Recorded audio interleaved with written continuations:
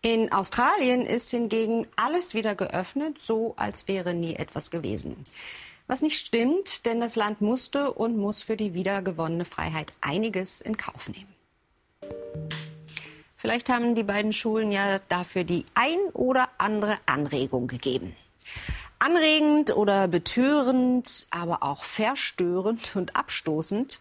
Gerüche können so eine unterschiedliche Wirkung auf uns haben klar einvernehmlich. Schweiß riecht niemand gerne, Schwefel auch nicht. Aber ob jemand nun den Duft von Rosen als angenehm empfindet oder nicht, ist total individuell.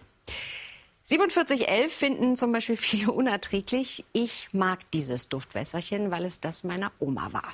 Und kaum rieche ich es, denke ich an sie.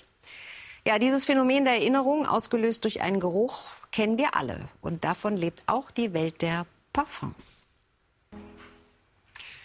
Von August 2019 bis März 2020 hat Australien die verheerendsten Brände in der Geschichte des Landes erlebt. Die Bilder haben Sie sicherlich noch vor Augen.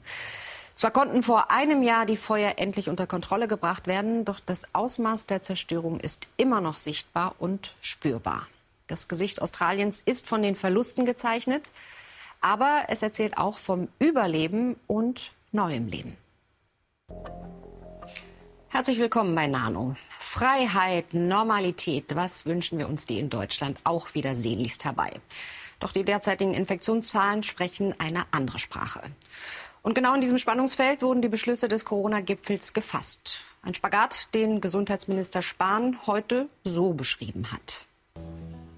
Ja, und zwar besser heute als morgen, denn noch im März sollen alle Schülerinnen und Schüler wieder in die Schule gehen können. Also auch die weiterführenden Schulen wenn vielleicht auch vorerst im Wechselunterricht.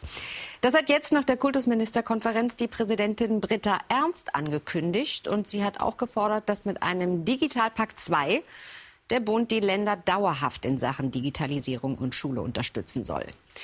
Eine Schule in Karlsruhe hat nicht auf politische Entscheidungen gewartet. Sie hat schon vor Corona clever auf digital umgerüstet. Ja, der Mensch ist dem Planeten zwar einerseits der größte Feind, aber wie man sieht, auch der größte Freund. Wir freuen uns, wenn Sie uns auch verbunden bleiben und ab Montag wieder einschalten. Bis dahin ein schönes Wochenende. Tschüss.